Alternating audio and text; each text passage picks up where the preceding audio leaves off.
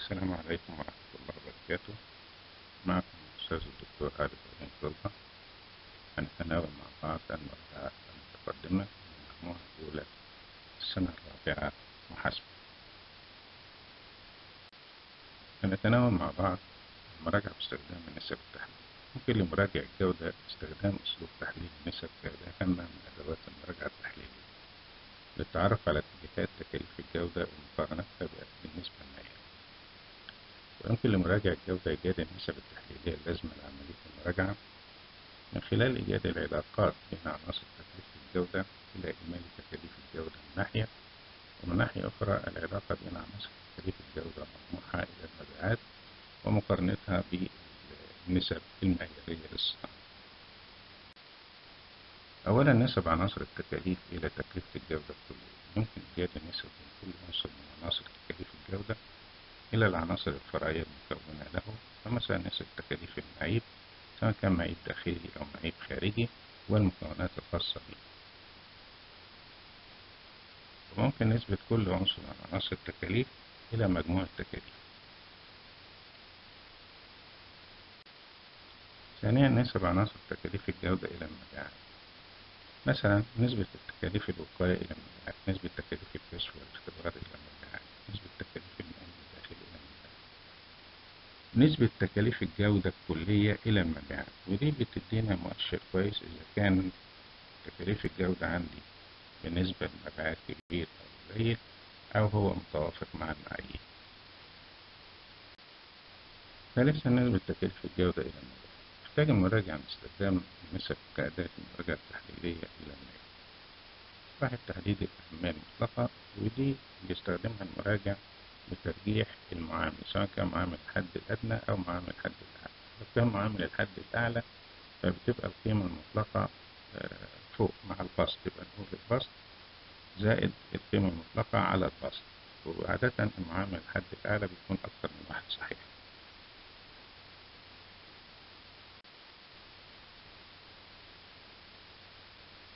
لما نيجي نحدد الحد الأعلى؟ بنضرب النسبة أو النسبة المتوقعة أو القيمة المتوقعة في معامل الحد الأعلى اللي إحنا استخرجناه في الخطوة السابقة. لما نيجي نحدد الحد الأدنى للمدى المقبول بنخلي المقام تحت والمقام فوق مقام على المقام زائد القيمة المطلقة بنخلي القيمة المطلقة تحت عشان معامل الحد الأدنى بيبقى دايما أقل من واحد صحيح وده عشان كده بنفرقه بينه وبين معامل الحد الأعلى اللي بيكون أكتر من واحد صحيح ثم بعد ذلك نضرب القيمة المتوقعة أو النسبة المعيارية في معامل الحد الأدنى أربعة تحديد فروق المراجعة ودي مهمة جدا عشان هنقارنها برقم خمسة اللي هو الاختلاف الجوهري أو اختلاف المادي الجوهري.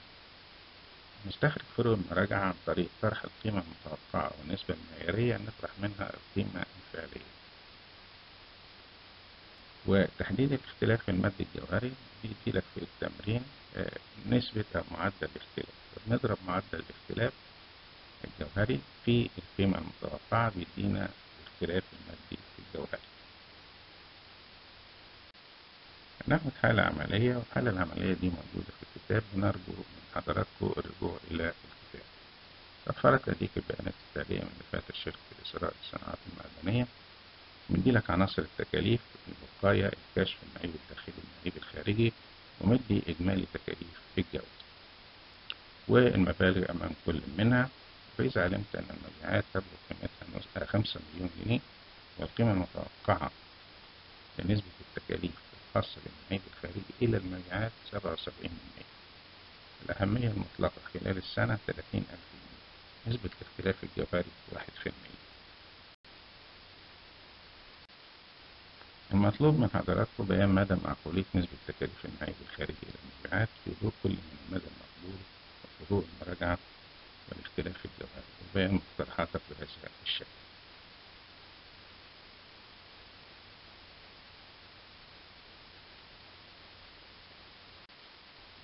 عشان نسبة تكاليف المعيب الخارجي إلى المبيعات اللي هي النسبة الفعلية هنقسم التكاليف المبيعات سبعة وستين تسعمية ستة وسبعين على خمسة مليون يديني واحد ستة وتلاتين. نشوف الواحد ستة وتلاتين دي معقولة ولا مش معقولة. أولا تحديد الحد الأعلى للمدى المقبول قلنا الأول هنستخدم معامل الحد الأدنى وهو البسط زائد الأهمية المطلقة على البسط بيساوي واحد أربعة وأربعين نجيب الحد الأعلى للمدى المقبول هنضرب القيمة المتوقعة في المعامل اللي إحنا استخرجناه هي سبعة وسبعين مية في واحد وأربعة وأربعين. يديني واحد وواحد وعشرين. ده الحد الأعلى. ثانيا تحديد الحد الأدنى للمدى المقبول بالنسبة هنجيب المعامل اللي هو المقام على المقام زائد الأهمية النسبية. خمسة مليون على خمسة مليون زائد تلاتين هيديني تسعة وتسعين مية زي ما انت حضراتكم بيبقى أقل من واحد صح الحد الأدنى للمدى المقبول هنضرب القيمة المتوقعة في المعامل اللي إحنا استخرجناه اللي هو معامل الحد الأدنى نسبة الجبلي ثالثا تحديد فروق المراجعة. إحنا عرفنا الحد الأعلى والحد الأدنى هنلاقي إن فروق المراجعة القيمة المتوقعة سبعة وسبعين من مية القيمة الفعلية واحد ستة وتلاتين يعني الفرق بين الاتنين تسعة وخمسين من مية وده طبعا فرق كبير قوي. وإحنا هنعرف إنه فرق كبير لما نقارنه بالاختلاف الجوهري طبعا تحديد الاختلاف الجوهري وإحنا بنجيب النسبة اللي إحنا لك في التمرين اللي هي واحد. هنضربها في القيمة المتوقعة اللي هي سبعة وسبعين يديني سبعة وسبعين من ألف ولما نيجي نقارن فروق المراجعة تسعة وخمسين في حين إن حد الاختلاف الجوهري سبعة وسبعين من ألف يعني إحنا بنقول لك المفروض فروق المراجعة ما تزيدش عن الاختلاف الجوهري المفروض ما تزيدش عن سبعة وسبعين زي ما أنتم شايفين ان تسعة وخمسين أكبر. وعشان كده إحنا هنرفض الايه؟ هنرفض النسبة لأن في خلل في هذه النسبة إما إنها تكون الأصول أقل من اللازم الأصول المتداولة أو الأصول المتداولة أكتر من اللازم أو التكاليف المعيب الخارجي أكتر بالنسبة للمبيعات أو المبيعات أقل لتحديد قيمة أدق للنسبة موضع الدراسة يمكن ربط القيمة المتوقعة بالاختلاف الجوهري بس يمكن قبل نسبة تكاليف المعيب الخارجي إلى المبيعات يجب أن تكون في حدود. ده بقى يعني معادلة جديدة تديلك دقة أو المدى المقبول بدقة أكتر إن إحنا هنجيب المعامل بتاعنا اللي هو الاختلاف الجوهري بتاعنا اللي هو السبعة وسبعين وهنضيفه أو نطرح منه ستة وسبعين من ألف اللي هو يجب أن تتراوح هذه النسبة بين تسعة وستين إلى خمسة وثمانين يعني إن المدى ده أدق لما قارنا بين القيمة المتوقعة اللي هي سبعة وسبعين من مية مرة طرحنا ستة وسبعين اللي هو الخلاف الجوهري مرة ضفنا ستة وسبعين يديني خمسة وثمانين ويجب ألا تزيد عن خمسة وثمانين دي الحد الأعلى للنسبة. حين إن النسبة بتاعتي كانت واحد ستة وتلاتين وبالتالي زي ما بقول لحضراتكم إن التكاليف نستخدم هنا إن تكاليف المعيب عالية جدا بالنسبة إلى النسبة المعيارية الموضوع الثاني اللي هناخده مع بعض المراجعة التحليلية في أداة تحديد الاتجاهات هناك العديد من الطرق المستخدمة في تحليل وتحديد الاتجاهات وسوف نستخدم هنا طرق قياس متوسط التغير و دي عندي ثلاث طرق متوسط التغير النقدي متوسط التغير النسبي ومتوسط التغير المركب وهنشوف مع بعض تمرين نقدر من خلاله نفهم هذه هذه الطرق عشان نقدر نعرف القيمة المتوقعة ونقارنها بالقيمة الفعلية اللي موجودة في المخارج الحالة العملية اللي قدام حضراتكم موجودة في الكتاب وبرجو الرجوع لأن في تمارين مختلفة عن هذا الموضوع.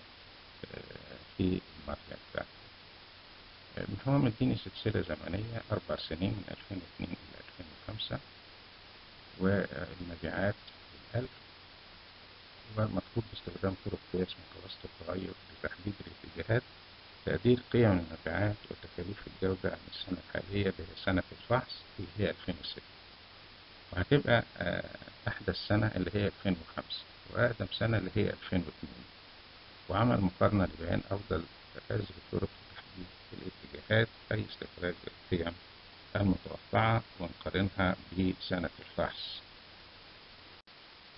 الطريقة الأولى اللي هي متوسط التغير النقدي طبعا زي ما بقول لحضراتكم لما نيجي نقدر قيمة المبيعات سنة 2006 هنشوف متوسط التغير النقدي سهل وبسيط أوي قيمة البند لأحدث فترة هي 2005 ونطرحها من أقدم فترة اللي هي 2002 على عدد السنوات ناقص واحد اللي هي ناقص واحد. وأنا يعني نون بتساوي أربعة. هيطلع متوسط التغير النقدي في الحقيقة مية مية وستاشر ألف تلتمية تلاتة وتلاتين. هنضيف هذا التغير متوسط التغير على بيانات أحدث سنة اللي هي سبعتاشر مليون مية سبعة وسبعين ألف واحد مليون سبعمية اتنين وسبعين ألف زائد المية وستاشر تلتمية تلاتة وتلاتين اداني إن القيمة المتوقعة للبيانات هتساوي تمنتاشر مليون واحد مليون تمنمية تمانية وتمانين تلتمية تلاتة وتلاتين ألف جنيه. دي هنبقى نقارنها بالمبيعات اللي حصلت سنة ألفين وستة؟ دي الطريقة الأولى ادتني الناتج الطريقة التانية متوسط التغير النسبي يحسب متوسط التغير النسبي كم؟ البند الأحدث فترة على البند الأقدم فترة ناقص واحد الكل على نون ناقص واحد. وهنشوف زي ما قلت لحضراتكم بدل ما هنطرح هنقسم. مليون سبعمية اتنين وسبعين على مليون ربعمية تلاتة وعشرين. ناقص واحد الكل على نون ناقص واحد. هيديني هنا نسبة متوسط التغير نسبة اتنين وتمانين من ما ينفعش إن أنا أضيفها على بيانات آخر سنة اللي هي مليون سبعمية اتنين وسبعين ألف. وبالتالي لازم أحولها إلى قيمة نقدية بإن أنا بضربها في مليون سبعمية اتنين وسبعين ألف وأجمعها على مليون سبعمية اتنين وسبعين ألف. قيمة المبيعات هنضيف مبيعات 2005 زي المبيعات 2005 برضه آسف في نسبة التغير يبقى مليون سبعمية اتنين وسبعين زائد مليون سبعمية اتنين وسبعين في اتنين وتمانين من ألف هيديني متوسط التغير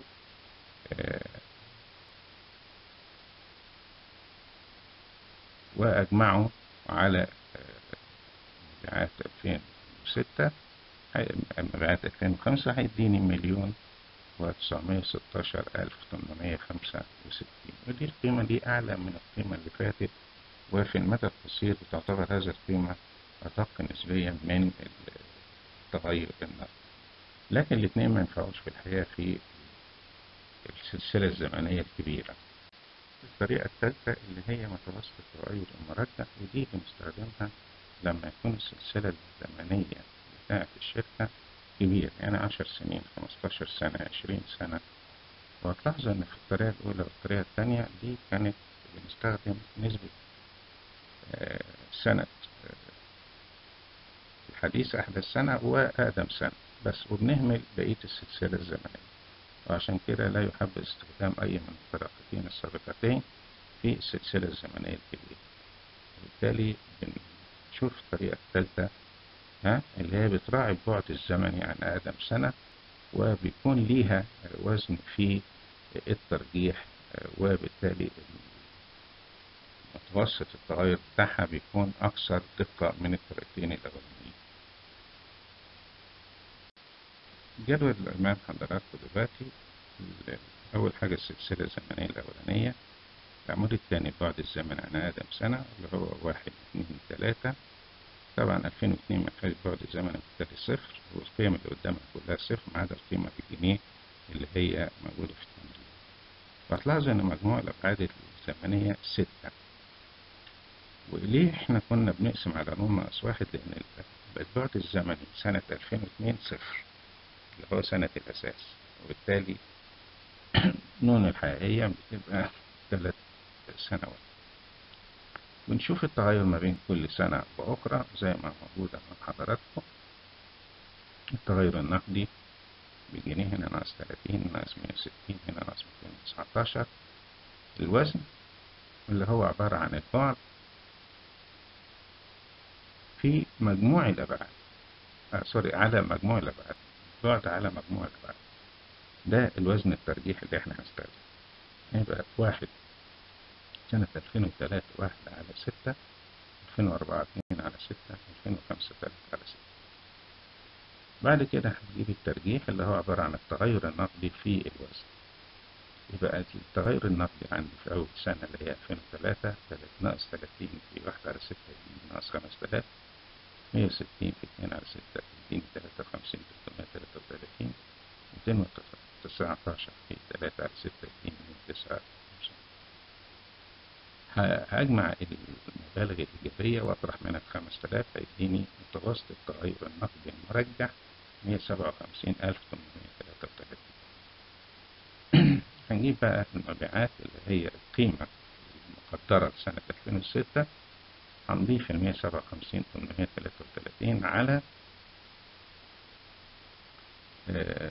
المليون سبعمية اتنين وسبعين ألف هيديني المفروض مبيعات 2006 تكون مليون تسعمية تسعة وعشرين تمنمية تلاتة لتحليل المبالغ النتائج اللي إحنا حصلنا عليها من الطرق الثلاثة بافتراض هو يديلك القيمة الفعلية مثلا المبيعات يقول لك إنها بلغت مليون وتسعمية ألف. إحنا طلعنا القيمة المتوقعة وفقا للطرق الثلاثة والقيمة الفعلية اللي هي مليون تسعمية ألف وهنطرح دي من دي عشان نطلع فروق المراجعة تحت كل طريقة الاختلاف الجوهري بنضرب القيمة المتوقعة اللي هي فوق خالص. في واحد في المية من القيمة المتوقعة وهيديلي الاختلاف الجوهري. وهلاحظ هنا في الحقيقة إنه وفقا للطريقة الثالثة أنا تقريبا يعني هرفض.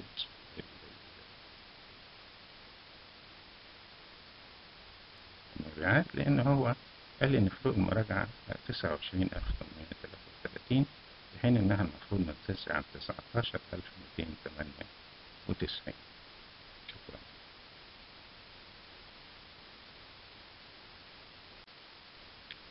الموضوع ده اللي هو المراجعة التحليلية كأداة تحديد المواقع الأولى بالعناية من المواضيع المهمة جدا خصوصا إن المراجع مراجع الجودة أو مراجع الإنتاج أحيانا مبقاش عنده وقت أو معندوش مراجعين كفاية بحيث إن هو يراجع على كل الأقسام الإنتاجية أو فروع فروع البيع أو الأقسام أو المراكز فهو بيلجأ إلى هذه الطريقة لمعرفة موقع كل مركز من المراكز من حيث الخطورة وعنده معيارين في الحقيقة المعيار الأول عدد الوحدات المعيبة والمعيار الثاني تكاليف المعيب لأن لو زاد تكاليف المعيب هيؤدي إلى زيادة تكاليف الجودة عشان كده بيلجأ إلى المراجعة التحليلية لتحديد إيه هي المواقع اللي ليها عناية خاصة فيها.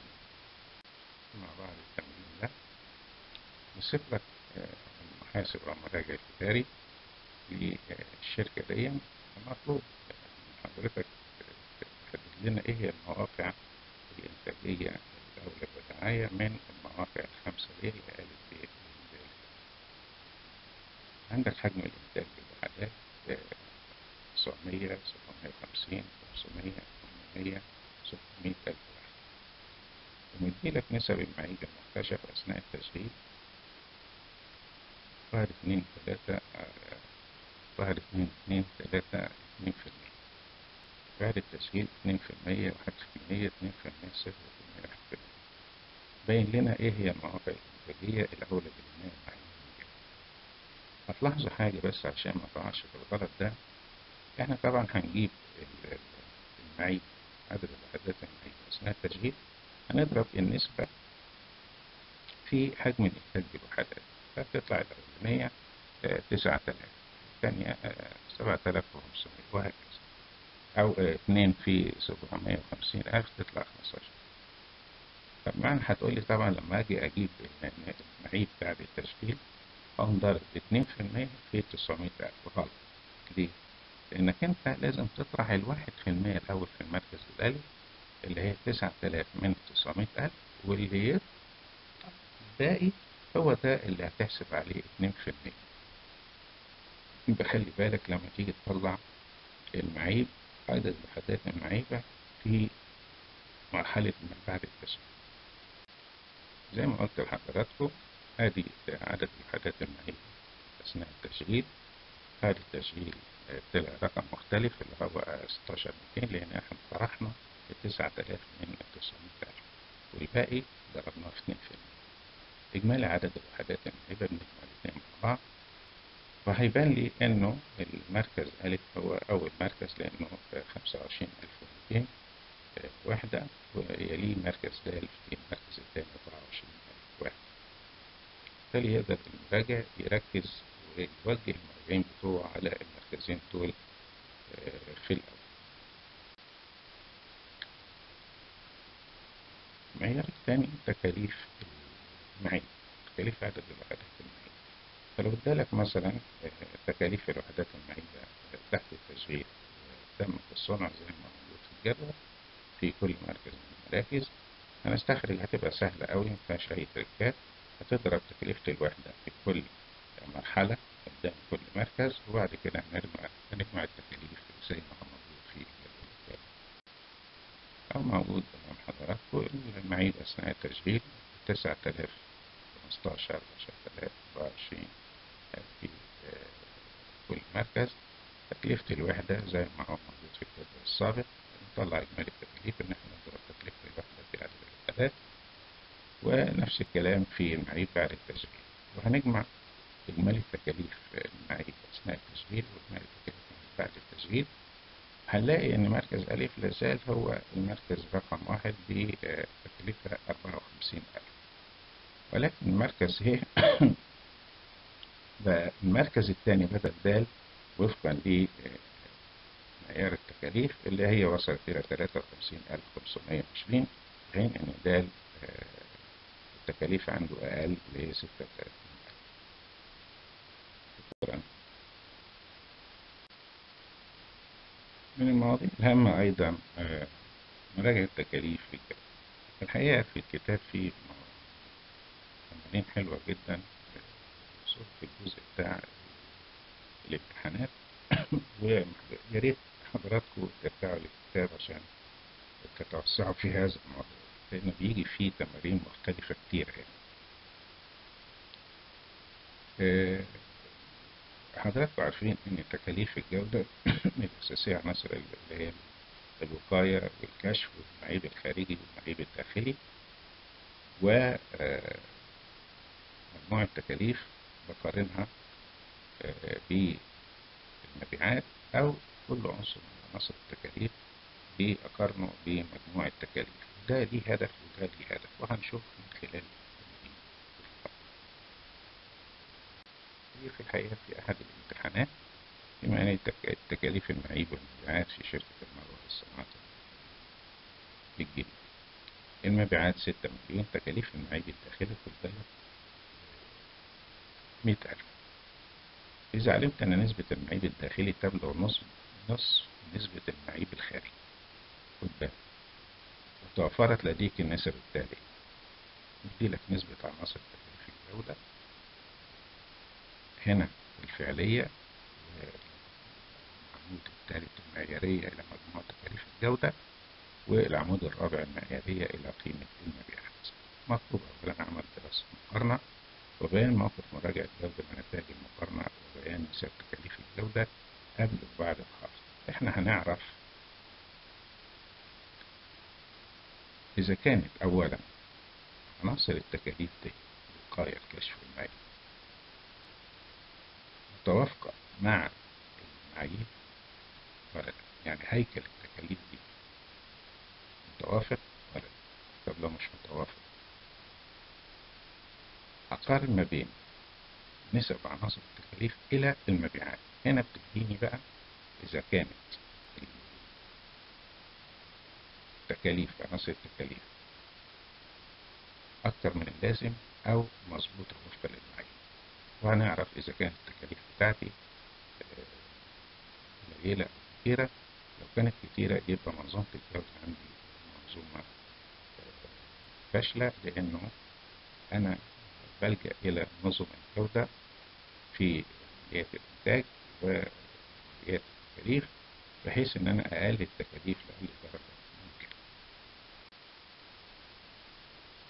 تكاليف المعيبة كلها إحنا قلنا تكاليف المعيب الداخلي النص الخارجي يعني واحد زائد اتنين يعني يبقى ده يبقى 300 ألف نسبة تكاليف المعيبة اللي هي 300 ألف إلى إجمالي التكاليف الفعلية ها؟ هنشوفها. هتكون كام طلعت 62 ألف وسبعة من عشرة ما عملتهاش مش كده ولا إيه؟ يبقى إجمالي تكاليف الجودة هتساوي 300 ألف على 62 700 هتساوي 478 يعني من خلال تكاليف المعيب قدرنا نجيب إجمالي تكاليف الجودة. تكاليف الوقاية اللي هي بتساوي تكاليف الوقاية على إجمالي تكاليف الجودة هتطلع تلاتة وثمانية عشرة. نقدر نجيب قيم عناصر التكاليف الباقية اللي هي تكاليف الوقاية 478 468 اللي هي إجمالي تكاليف الجودة في تلاتة وثمانية عشرة بتديني 18 181 تكاليف الكشف نفس التكاليف في تلاتة وتلاتين ونص يديني 160 ألف 287 وإحنا عارفين ان تكاليف 300 ألف نجمع التلاتة على بعض يديني 478 ألف 468 هنعمل هنا بقى المقارنة ما بين عناصر التكاليف إلى مجموع التكاليف في الشركة وعناصر التكاليف إلى النسبة المعيارية للمبيعات اللي هي على شمال. هنلاقي إن تكاليف الوقاية في الشركة ثلاثة هنا النسبة المعيارية للمبيعات بتقول لي المفروض تبقى خمسة. يعني الشركة بتصرف أقل على المنع. تكاليف الكشف اتنين ستة من عشرة المفروض متزيدش عن واحد وسبعة من عشرة. تكاليف المعيب خمسة وواحد وتسعة. عشان أنا ما عملتش وقاية ومنع للأخطاء فهنا المعيب زاد جدا لأن المعيب في الشركة خمسة والمفروض ما يزيدش عن واحد وتسعة من عشرة المفروض نسبة التكاليف إلى المبيعات ما تزيدش عن أربعة. هنا عندي في الشركة سبعة تسعمية سبعة وستين. يبقى هنا عندي في الحقيقة مشكلة إن التكاليف الجودة زايدة تلاتة في المية تلاتة وتسعة من عشرة في المية. الحل أنا عندي اتجاهين. الاتجاه الأول إن أنا أزود المبيعات لو كانت المبيعات أقل من اللازم لسه ما وصلناش للطاقة اللي تتوافق مع تكاليف الجودة. فهضرب الستة مليون. في النسبة المعيارية في النسبة الفعلية وأقسمها على النسبة المعيارية هيديني إنه المفروض المبيعات ما تقلش عن 11 مليون 950 ألف 500 ده لو كان العيب في المبيعات مش في التكاليف. إنما لو كان العيب في التكاليف والمبيعات سليمة يبقى أنا هضطر إلى تخفيض الإيه التكاليف عناصر التكاليف بتاعتي حتى أتوائم مع النسبة المالية تخفيض التكاليف هيتم كمان هضرب كل عنصر من عناصر التكاليف في النسبة المعيارية وأقسمها على الفعلية. هلاقي إن التكاليف بعد الخفض وصلت 220788 هشوف بقى نسبة التكاليف بعد الخفض قد إيه؟ هاجي أقسم التكاليف بعد الخفض اللي أنا طلعتها في الخطوة السابقة على التكاليف قبل الخفض اللي هي كانت 477868 هلاقي إن نسبة التكاليف بعد الخفض وصلت 46 في المية. معنى كده إن نسبة الوفر في التكاليف عندي أطرح ال 46 من مية في المية هيديني إن أنا وفرت للشركة بتاعتي تلاتة وخمسين في المية وتمانية من عشرة من مجموع تكاليف الجودة وده هيؤدي إلى زيادة صافي الإيه؟ صافي الربح شكرا وإلى اللقاء